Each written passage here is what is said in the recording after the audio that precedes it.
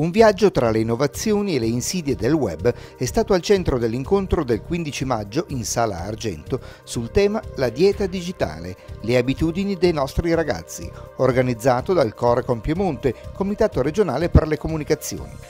Con il presidente e la vicepresidente Bruno Geraci e Tiziana Maglione sono intervenuti il professor Sergio Scamuzzi con i ricercatori Christopher Cepernic e Giuseppe Tipaldo dell'Università di Torino e il coordinatore nazionale del Corecom Italia Felice Blasi. Lo scorso anno oltre 500 ragazzi piemontesi hanno compilato un questionario di una cinquantina di domande e lo studio delle loro risposte ha permesso di ricavare uno spaccato sulle loro abitudini digitali e di provare a suggerire proposte per un uso consapevole delle nuove tecnologie ai giovani e ai loro educatori. Credo che questa ricerca sulla dieta digitale dei nostri ragazzi ci abbia svelato un mondo che avevamo intuito ma certamente non avevamo capito sino in fondo. Devo dire che oggi i ragazzi convivono con questa realtà di internet in una maniera profonda, spesso sconsiderata. Pensate che in alcune fasce di età si arriva anche a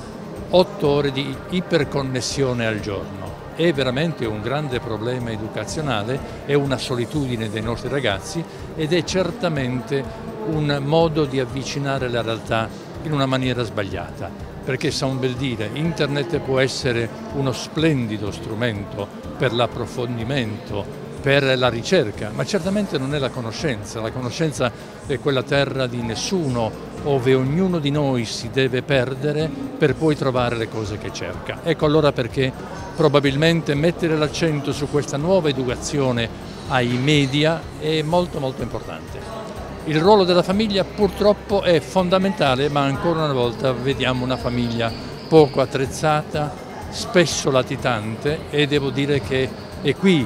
il succo e il nocciolo della gravità del problema. Cioè abbiamo una scuola che bene o male si è attrezzata, abbiamo istituzioni che bene o male si attrezzano anche loro per seguire questo percorso,